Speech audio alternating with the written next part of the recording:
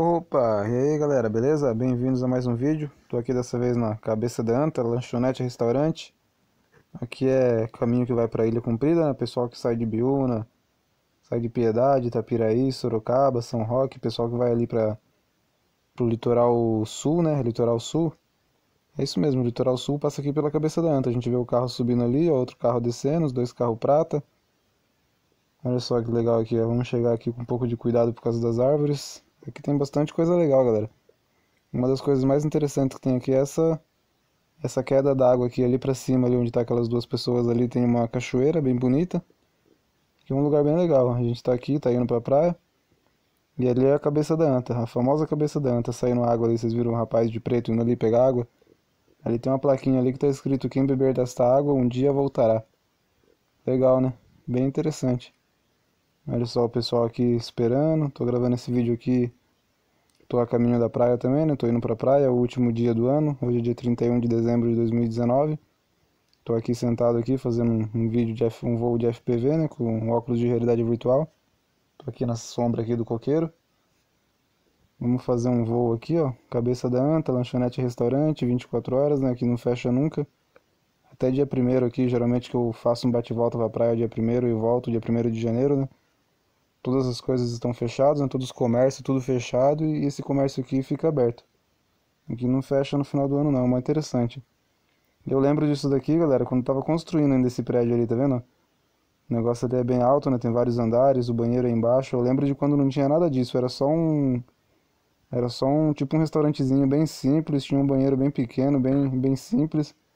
Aí o pessoal viu que tava dando bastante movimento, né? Aí resolveu aumentar. Aí agora tá bem confortável.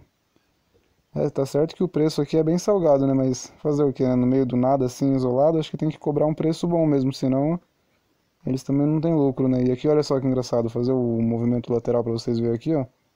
Qualquer lado que você olha aqui só tem mato, tá vendo? É só mato, montanha, olha lá, tá vendo? Sobe no horizonte, só tem mato.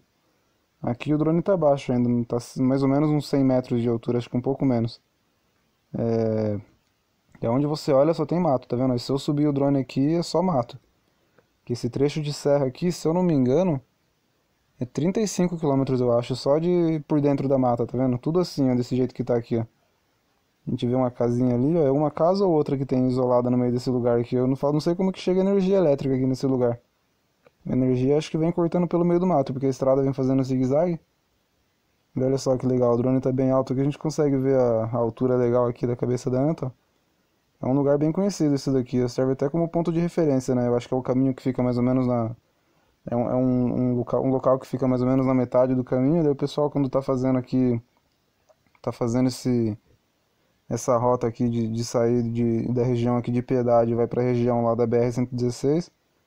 Aqui fica certinho na metade do caminho, né? O pessoal para aqui para fazer o lanchinho, para tomar uma água, para ir no banheiro.